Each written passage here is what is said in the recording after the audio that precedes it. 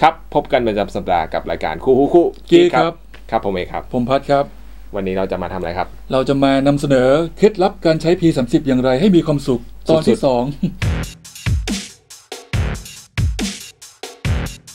หลังจากโดนแบนไม่ใช่โดนแบนไม่เกี่ยว อะอ่า ผมก็ไปขุดหามาอีก มีอันคนแรกเลย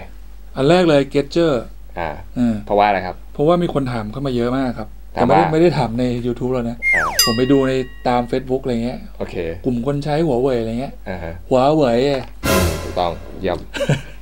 ก็มีคนถามว้เว้ยมีคนถามเยอะว่าไอ้ Getcher ที่เหมือน iPhone อะ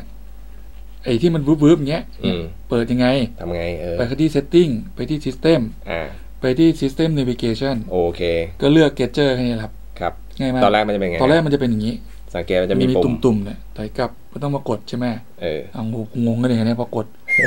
เนี่ยพอเราเลือกอย่างนี้ปุ๊บ ซึ่งผมใช้แบบเนี้ยแต่แรกอ่าตั้งแต่ทีแรกเลยถนัดมากตุ่มแต่เข้าหน้าหายไปโฮมทำไงสวายขึ้น เออ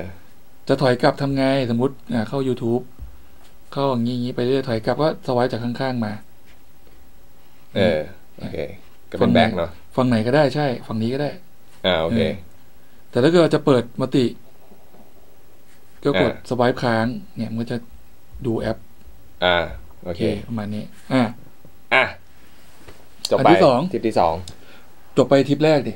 ต่อไปทริปที่สองอะถูกต้องทริปที่สองคือเราจะแชร์ Wi-Fi โดยที่ไม่แชร์ password อะสมมุติว่า password ที่บ้านเราอย่างเงี้ย Wi-Fi บ้านเรา หรือว่าบางทีเราไปใช้สาธารณะข้างนอกเงี้ย เราต่อไว้แล้วอืมเพื่อนอยากต่อ เฮ้ย ใช้ Wi-Fi มั่งว่ะอืมไม่มี password ว่ะอืม สมมติเรามีคนเดียวเงี้ยอืมเราก็แชร์ให้คนอื่นเราได้ก็ใช้อื่นได้อะแล้วทำไมไม่ใช้ hotspot อะ hotspot มันเปลืองเน็ตเราไง hotspot นี้คือเราต้องต่อ Data Data อินเทอร์เน็ตอ่าเราแล้วเราค่อยแชร์ hotspot ใช่ไหมถูกอันแต่นี้นี่คือคือ bridge นี่คือ bridgeคือเหมือนเราเป็นทางผ่านอะเราต่อ Wi-Fi อยู่อืมแล้วเรากระจายให้คนอื่น ใช่ โอเคทำตัวเป็น repeater ทำนองนั้นแหละ ใช่ไหมครับก็ไปผมที่ Setting ไปที่ Wireless and Network ไปที่ Personal Hotspot อืม ไปที่ More More แล้วก็ไปเปิด Wi-Fi Bridge เนี่ยครับเปิด แล้วแต่ว่าตอนที่เราเปิด Wi-Fi Bridge อะเราก็ยังต้องตั้ง password อยู่ดีนะอ่าไม่แต่เราเป็นคน control พาสเวิร์ดใช่ แล้วก็ตั้งโง่ๆไปหนึ่งสองสี่ห้าหกเจ็ดแปดอะไรเงี้ย แล้วเพื่อนก็มา เวลามาต่อเพื่อนจะต่อก็ต่อจาก Wi-Fi ตัวนี้ ชื่อ Wi-Fi ชื่อตัวนี้ Wi-Fi ของเราอะเชื่อแค่คือนั้นชื่อคือชื่อชื่อเครื่องเรานั่นแหละอืมแค่นั้นทีนี้จผมบผมว่ามันมีอีกประโยชน์หนึ่งอืมคือ อย่างเวลาเราไปโรงแรมเนี้ยคือครับโรงแรมต่างประเทศบางที่อะอืมเขาจะให้พาสเวิร์ด Wi-Fi แค่คนละหนึ่งหรือสอง password จำกัดสิทธิ์อ่าในการแล้วใช้แล้วหนึ่งไวหนึ่ง Wi-Fi พาสเวิร์ดเนี่ยก็คือต่อได้แค่เครื่องเดียวเอออะไรเงี้ย คือสมมติถ้าเรามีเอ้ยมีกวนแล็ปท็อปมีเพื่อนมีแล็ปท็อปอ่ามีมีมือถือมี iPad แท็บเล็ตอะไรเงี้ยเออแล้วเราก็จะต่อหลายๆเครื่องเงี้ยเราเราต้ต้อองงจ่ายตังค์เพิ่มอะไรเงี้ยอืมเราก็ไม่ต้องทำเราก็ทำแบบอย่างนี้แล้วก็ทำบิชเอาเออเว้ยอืมอะไรเงี้ยใช่ป่ะมีประโยชน์มีประโยชน์มีประโยชน์อะอะ สามทิปที่สามจที่บต่อที่ไปที่สองคือ multitasking แบบ3นิ้ว อะปกติเวลาเรา multitask เนี่ย ถ้าเป็นแอปแอปเนี้ยจะเข้า multitask ก็คือใช้ข้อนิ้ว ขีดแบ่งครึ่งใช่ไหมครับ ไม่ถนัดนั่นเอง เนี่ย ขีดแบ่งครึ่งก็จะขึ้นมาเป็นอย่างนี้เออแล้วเข้าแอปหนึ่งได้เออเออ จริงๆเราเราสอนสอนทริคข้อนิ้วไปแล้ว ในตอนที่เรารีวิว Huawei P30 UI UI ก็ไปดูได้ ครับอะถ่ายต่ออินถ่ายอินคลิปตลอดอะ นิดนึงอะถ้าเกิดใช้ผสามมว่านิ้วมีทำประไงโยชน์ที่สุด เอานิ้วสามนิ้วสไลด์ขึ้นก็ได้ผลลัพธ์เดียวกัน นี่ง่ายกว่าข้อนิ้วอีกนะผมว่าง่ายกว่าแต่ผมว่าข้อนิ้วมันแบบเท่อะเหรอเอออมแล้วแต่คนชอบ เนี่ยบางทีผมเนี่ยใช้ใช้เออไอ้นำทางแผไปนด้วยที่อยู่นำดูทางไปด้วย YouTube ไปด้วยดูตอนขับรถแล้วสิ ไม่ตั้งใจขับนะคุณเนี่ยได้ดูเลยนำทางไปด้วยด้วย ดู YouTube Head ไปด้วย west, then turn right. โอเคโอเคไป อะทริปต่อไป ทิปที่สี่ ทริปที่สี่สังเกตหน้าจอตอนชาร์จอืมว่ามันเป็น super charge หรือว่ามันเป็นชาร์จเฉยอะๆเนี่ยสมมุติผมจะชาร์จมือถืออย่างเงี้ยเออถ้าเอาสายสายชาร์จมาเสียบ โอ้อันนี้สายชาร์จธรรมดา ที่ชาร์จธรรมดาเสียบปุ๊บแอนิเมชันขึ้นขึ้น สายฟ้าปกติ อืม ผมจะรู้ได้ไงมันเร็วหรือไม่เร็วเร็วหรือไม่เร็วใช่ไหมเออ ถ้าเกิดสายชาร์จเร็วเนี่ย ถ้าเสียบปุ๊บแอนิเมชันขึ้น มันอ่าจริงๆมันก็ขึ้น super charge อยู่แล้วแหละเออมันก็บอกอยู่แหละ แต่สังเกตสายฟ้าเนี่ยมันเป็นสามขยัก อืม สายฟ้าที่ที่มันพาดผ่านเนี่ย เอามันดับไปแล้ว เสียบไหม เนี่ยมันจะเป็นสามหยัก อ่า จากหนึ่งยักษ์เป็นสามยักษ์เออ เป็นเป็นจึกๆอะอ่าอันนี้แล้วมันก็เขียน super charge ข้างล่างด้วยคุณเอบอกเอ้ามันก็เขียน super charge อยู่แล้วนี่หว่า มันเออจะสนใจทำไมเออ สมมติว่าเราใช้ไปนานๆแล้วแอนิเมชันมันหดไปเนี้ยเออไอ้ตรงสายฟ้าสามขยักเนี่ยมันก็จะขึ้นตรงนี้ด้วยนะอืมไอ้ตรงเขาเรียกอะไรเนี่ย ไอ้ตรงไอคอนแบตเตอรี่เนี่ยข้างบนเนี่ยมันจะขึ้เดี๋ยนวเราเป็นเดี๋ยวผมเป็นมาสามหยักษ์ผเหมืมอนกันจะขยายให้ดู เออเอออ๋อแต่ถ้าเรานี่นี่วิธีการสังเกตทิปวิธีการสังเกตว่ามัน super charge หรือเปล่าซูเปอร์ชาร์จหรือเปล่าบางทีมันเราไม่ได้มาดูแอนิเมชันทุกครั้งไงอืมเนี่ยถ้าเกิดถ้าเกิดเสียบแบบปกติอะมันจะขึ้นแค่สายฟ้าปกติ อืมเป็นหยักเดียวอย่างเดียวเออออืม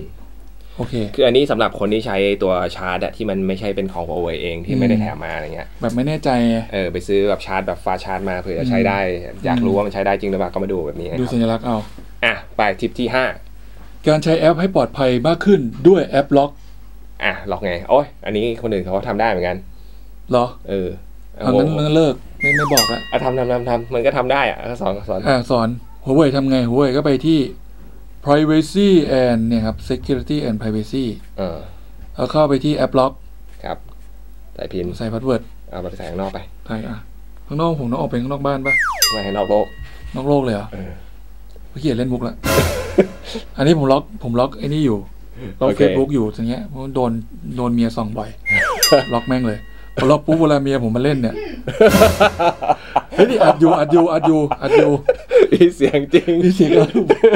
ไรไม่มาตอนไหนเนี่ยเห็นไหมเนี่ยแอบส่องอยู่ตลอดเวลาขนาดอัดคลิปยังส่องอยู่เลยอะต่อต่อครับนี่นอกสคริปต์แต่กูเอาลงกันนะเนี่ยเปิดเฟซบุ๊กปุ๊บไม่ได้แล้วต้องใส่ passwordอ๋อ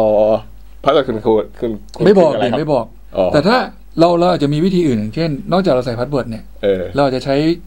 ไอ้นิ้วมือหรือว่าหน้าเรามาใส่ก็ได้ ครับผม เราก็ไปที่อืม security เหมือนเดิมไปที่ face เออ recognize ใช่ครับ แล้วเราก็บอกว่า เราบอกให้ให้ใช้ face recognition เนี่ยอ่าครับผมในการ activate แอป App Lock ด้วยก็ได้อ๋อถ้าอย่างเงี้ยปุ๊บเวลาเมียผมมันจะมาส่องเฟซผมอย่างเงี้ยเออเขา face ปุ๊บ ถ้าหน้าหน้าไม่ใช่หน้าผมเนี่ยเออถ้าไม่ใช่หน้าผมมันก็เปิดเปิด อันนี้ยิ่งเฟซไม่ได้ยิ่งไม่ปลอดภัยรู้ไหมทำไมอะเพราะว่าเขาใช้รูปคุณได้ ไม่ได้ได้ ผมลองแล้วไม่ได้ได้ ผมลองเพแล้วราะว่ามันไม่ใช่ 3D ไอ้เอ้ยที่ผมลองแล้วมันไม่ใช่จริงแบบเหมือน Apple อย่างเงี้ยลองแล้วไม่ได้จริงๆ เคยลองแล้วเหรออืมแต่ว่าไม่ได้ปริ้นหน้ารูปนะอืม เอารูปจาก iPhone มาส่องอ๋อกับมือถือไม่ได้ เอารูปที่ถ่ายรูปที่ปริ้นออกมาดิเหรอเออมันมีโอกาส มีโอกาสใช่ไหมเออแล้วถ้าเมียผมขยันขนาดนั้นก็ให้เขาส่องไปเถอะผมว่าใช้ password ดีละอะห้าคลิปละเอ้ยห้าห้าทิปละห้าทิปแล้วครบแล้วอืมประมาณนี้แหละ